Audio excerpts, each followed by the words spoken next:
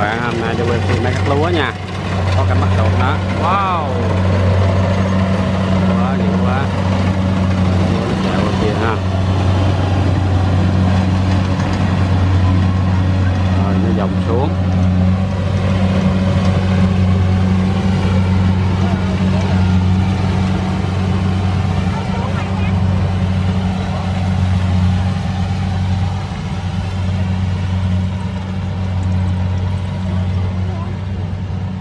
Cắt lúa tỉnh Kiên Giang. Lúa này trúng chú?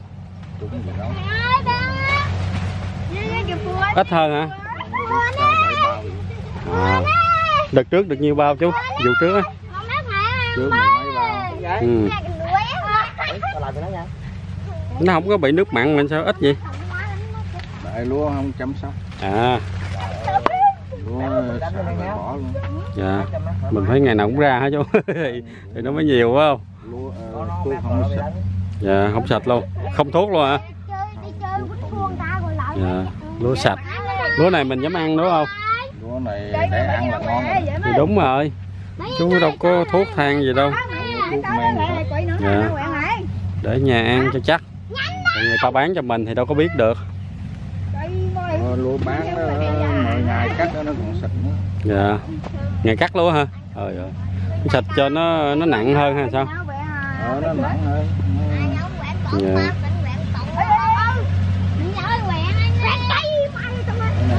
Lúa giống này nó kháng nữa đã không à. ăn hết không còn. wow hay ha. Giống này nó kháng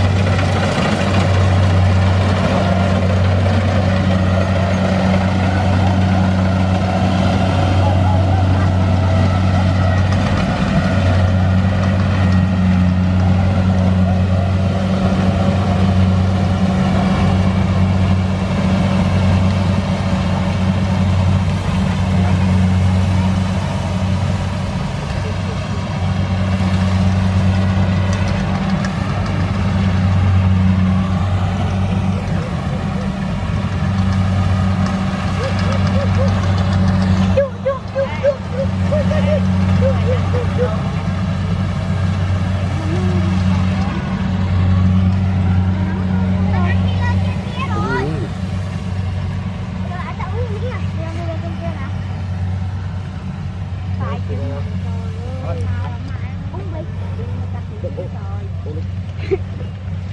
ta đi thích